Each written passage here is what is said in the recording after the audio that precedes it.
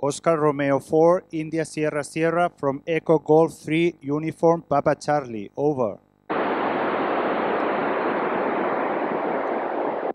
Oscar Romeo 4, India Sierra Sierra from Echo Golf 3, Uniform Papa Charlie. Over. Echo Golf 3, Uniform Papa Charlie. This is Oscar Romeo 4, India Sierra Sierra. How copy?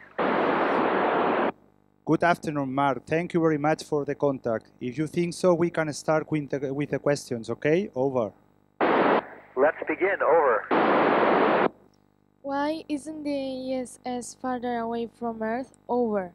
Uh, it, the farther away we get from Earth, the less protection we have from the radiation, from the magnetic field of the Earth, and we're far enough away to avoid interacting with too much of the Earth's atmosphere. Over.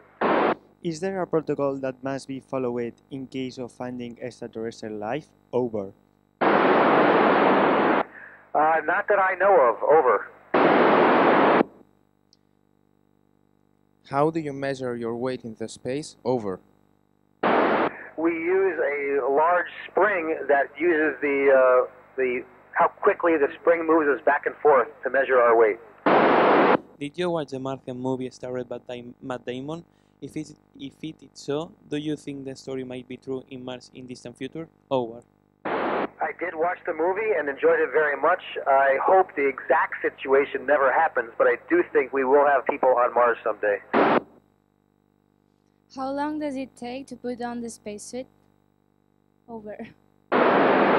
It takes anywhere from about 10 minutes to an hour over. How, how much energy do you produce with the solar panels and how do you use it? Over. Uh, I'm not sure the exact amount, but we use it for everything that we that requires electricity on the space station, from um, exercise equipment to science experiments to lights. Over.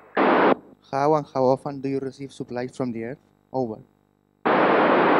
I would say it's been about roughly every 45 days. I've been up here for three months, and we're, our third vehicle will be coming up here uh, in about another week or two.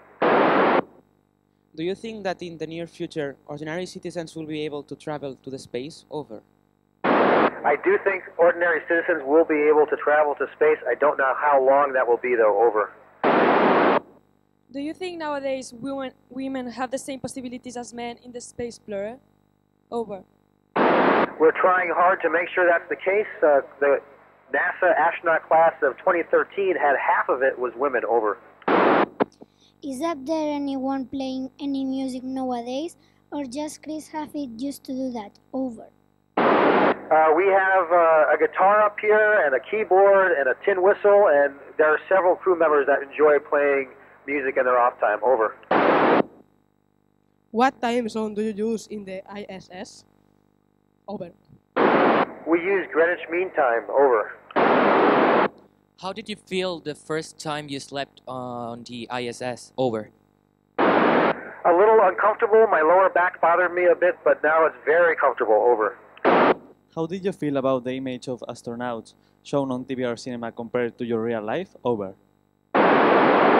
I think uh, the portrayal of astronauts is as varied as the astronauts themselves, so I'm fine with that. And uh, it's at least it's entertaining. Over. Which was your reaction when you were selected? Over. I was very, very excited, and in fact, I'm still very, very excited about that now. Over. Can you explain any funny situation that happened there? Over. I can't remember the exact details of any of them, but I do remember um, laughing so hard that I that I had uh, to wipe my eyes. Over. What are the skills that you need to be there? Over.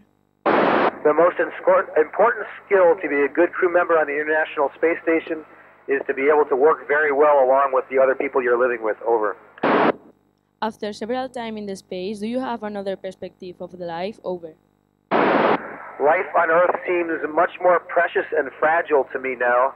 Um, I think that humanity needs to work much better, and uh, I have a renewed appreciation for how varied and beautiful the Earth is. Over. Is your hair growing as much as it does on Earth? Over. Yes, I think so. I don't think the uh, the rate of needing haircuts has changed at all for me. Over. Do you sleep fewer hours if you're in the space? Why? Over.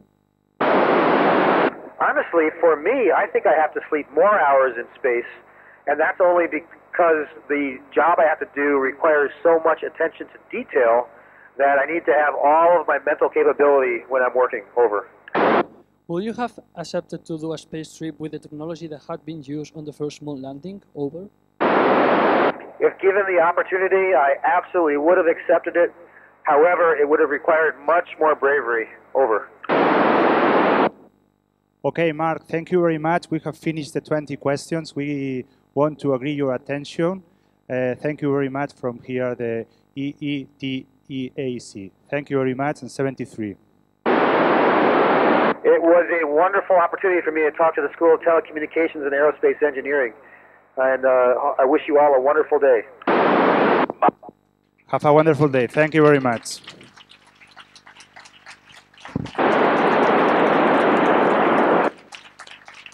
And this is Oscar Romeo 4, India Sierra Sierra, out.